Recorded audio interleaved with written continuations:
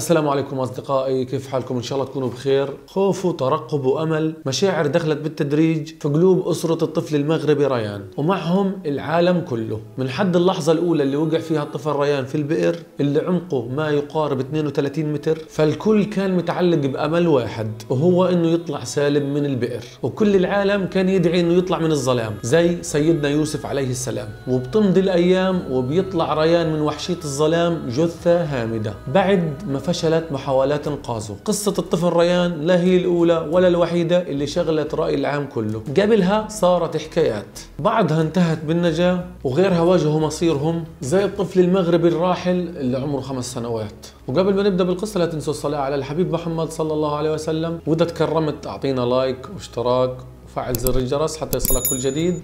وهاتوا ال intro.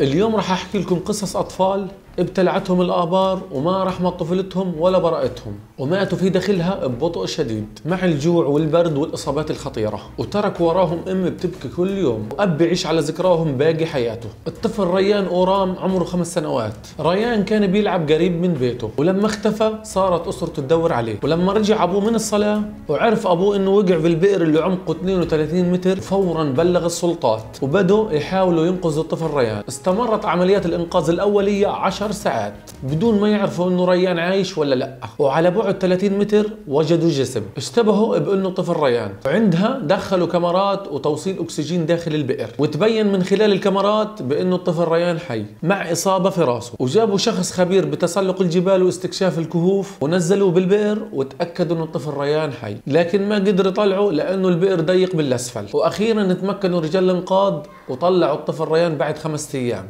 قضاها الطفل في البئر خمسة أيام من عمليات الحفر عشان يوصلوا له. وفي هذه الأيام كان العالم كله حابس أنفاسه ومتأمل إنه يطلع ريان. لكن هذا الطفل الصغير انتقل لرحمة ربه بعد ما قضى 50 ساعة تحت الأرض. وبعدين طلع بس عشان يودع أمه وأبوه. وبعدين يرجع يندفن مرة ثانية ملك المغرب اتصل بأهل الطفل ريان عشان يقدم لهم التعازي بوفاة ابنهم. واجت قصة الطفل ريان عشان يذكرنا بقصص أطفال مشابهة لقصته. فالطفل ريان مش لحاله اللي وقع في البئر. في كمان قصص لأطفال وقعوا في البئر. ومنها قصة الطفل حسن الزعلان. حسن الزعلان عمره عشر سنوات. طفل بريء نزح من أبو ظهور في إدلب الشرقي كان يشتغل مع أبوه في فحر بئر ارتوازية بدل ما يروح على المدرسة. كان بيحمل كاسات شاي عشان يوزعها على أبوه وقرايبه. وكان أبوه يقف على عارضة فوق البئر. ولما إجا حسن عشان يناول أبوه الشاي تعثرت رجله ووقع داخل البئر مع صينية الشاي. فتحة البئر كانت ضيقة جدا وعمقه أكثر من 21 متر. وعشان هيك ما قدر حد يتطوع وينقذه من الحفرة. ولما وقع حسن في البئر علق بين جدار البئر وزميل الحفر. وخلال أول خمس ساعات من وقوعه في البئر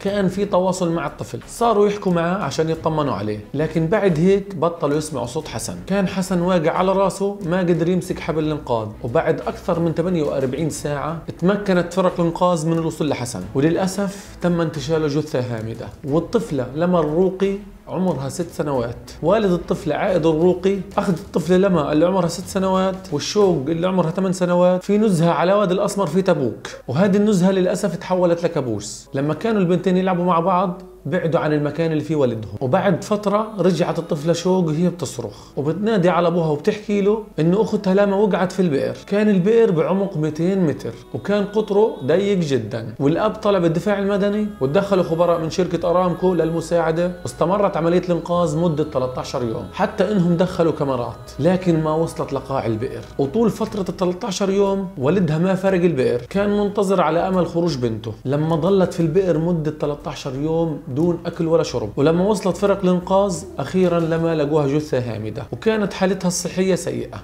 لقوا معاها الدمية اللي كانت تلعب فيها ودفنوها في مقبرة العائلة في تبوك. الطفل جوليان روسيلو عمره سنتين. كانت الأسرة طالعة نزهة مع طفلهم في أرض خاصة في تولان جنوب استراليا. وفجاه تحولت الرحلة لكابوس لزمهم طول حياته. وقع الطفل جوليان في بئر عمقه 100 متر. وظلت فرق الإنقاذ تحفر ليل ونهار عشان يوصلوا للطفل. عمال المناجم وطاقم طاقم من الدفاع المدني شاركوا مع فرق الإنقاذ وللأسف كل المحاولات فشلت عشان ينقذوا الطفل الرضيع. وكان سبب فشلها تضاريس المنطقة. وعشان يوصلوا للطفل راحوا حفروا بئر بيوازي البئر اللي وقع فيه. ومع توصيله بانابيب أكسجين لحمايته. وبعد 13 يوم عثروا على جثة جوليان في قاع البئر. وبنتذكر كمان في عام 2017 والد جوليان فقد طفل قبله لأنه مات فجأة وهم بيتمشوا على الشاطئ. وكان عمره ثلاث سنوات. الطفل سوجيت ويلسون. عمره سنتين. قصته صارت عام 2019 في وادي كيرنشان في الهند. كان الطفل بيلعب في ساحة قريبة حوالين بيته مع أصدقائه. وفجأة وقع في بئر مفتوحة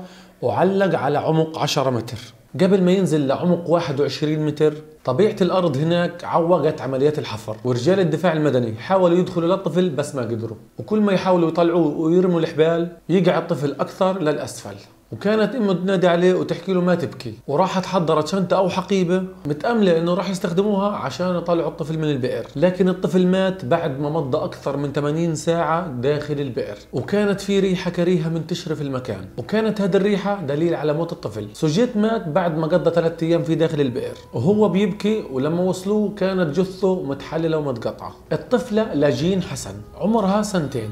قصتها صارت في 2018 في نجران. راح أبوها مع طفلته وأولاد عمها. لمزرعة فيها بئر في حي العريسة. وهناك رفعوا الغطاء عن البئر ولقوا فيه مية. وكانوا الأطفال كل شوية يروحوا يلعبوا عند البئر. وحاول الأب يبعد بنته عن فتحة البئر أكثر من مرة. لكن في الآخر وقعت في البئر اللي كان عمقه 60 متر. وحاول عمها وأبوها وعدد من المواطنين يطلعوها من البئر. فنزلوا حبل عشان تمسكه لكن ما قدرت تمسكه. وبعد 20 دقيقة انقطع صوت الطفلة. وفورا بلغوا فرق الدفاع المدني. اللي انتشلوا الطفلة وهي جثة. على الرغم من وجود القصص الحزينة والمؤلمة لكن لا زال حفر الآبار موجود مع وجود التسيب والإهمال. في إنهم تركوا الآبار المهجورة بدون ما يتم ردمها عشان تتحول لقبور لأطفال أبرياء. اندفنوا فيها وهم أحياء واندفنت معهم أحلامهم وبراءتهم مات بشكل بطيء من الجوع والبرد وتركوا لعائلاتهم جرح ما بيلتئم. وذكرى أليمة بتضلها محفورة لمدى الحياة. وفي ختام قصتنا لليوم أنا بترجى كل أصحاب المزارع والأراضي المهجورة